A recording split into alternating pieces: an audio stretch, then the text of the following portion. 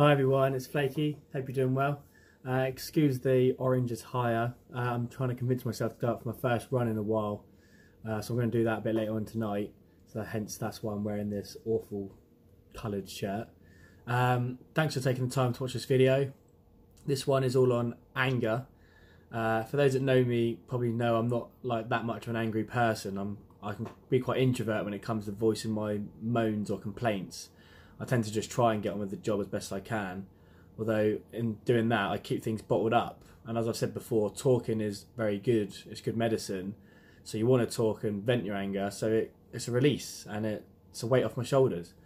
So I could be here a long time. I'm not going to be, but I could be. I could reel off a lot of uh, things that make me angry. When I was manic a few years ago, I wrote I wrote a list of everything that made me angry, and the list was 184. So there's a lot of things I could be angry about, but I'm not going to go into all of those today. Uh, maybe a few years down the line, we'll see. But anyway, um, I asked my brother about what makes him angry, and he said two things. One was when people brake, so he knows he has to slow down in his car. And the other one um, was stupid questions, and I ask stupid questions all the time. I'm sure everyone can agree stupid questions can be annoying. Although you can say there's no such thing as a stupid question, as someone's told me uh, recently. So yeah, make make it that way you will. I'm just going to reel off a few things that make me angry. Um, just a few like top things that first come to my head. So lazy people.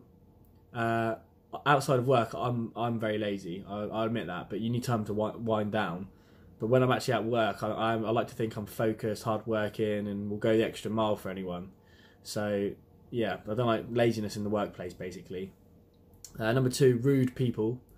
Uh, obviously, it's it's fine if you're to the point, but there's a difference between that and being blunt, obnoxious, thinking you're better than someone, not giving someone the time of day, and that really grinds my gears. So that's something I get annoyed at.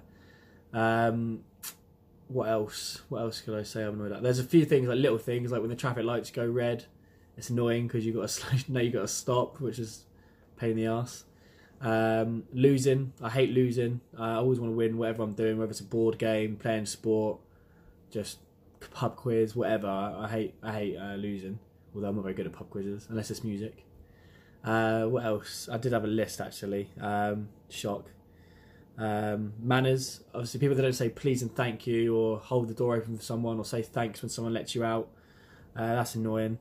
Uh, and yeah, recently I'm quite annoyed at letting myself go a little bit, being overweight. Um, I feel like I've got my mental health to a place where I want to be now, but I've let my physical health get worse. Uh, probably because I've been overeating or comfort eating due to like anxiety or stress or loneliness.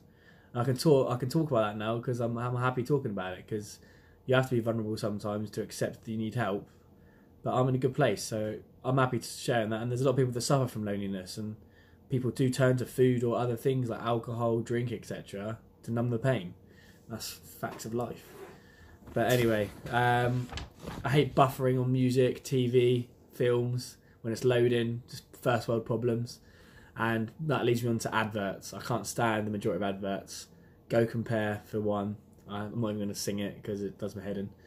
Um, but yeah, that's all I've got to say really at this stage on it. It's just a few things to vent my anger at, uh, release basically. So I'll, I'll feel better for it. Hopefully some of you can agree. Um, but I'm going to start uh, ending these videos with a quote uh, of quotes that like inspire me or something that I agree with. So this first one is from Tony Robbins, who's a, an idol of mine. Hopefully you've heard of him. Uh, and he says, "If you do what you've always done, you'll get what you've always gotten." And I believe that's true. If you're always doing the same things, you're not going to progress. So, yeah, something to hopefully inspire you all. Uh, keep keep posting for my next video. It's all on uh, comedy and laughter. I'm not gonna tell jokes because I'm not a comedian but it's to do with how comedy and laughter can get you through the hard times, basically. So look out for that one. Cheers, everyone. Flakey.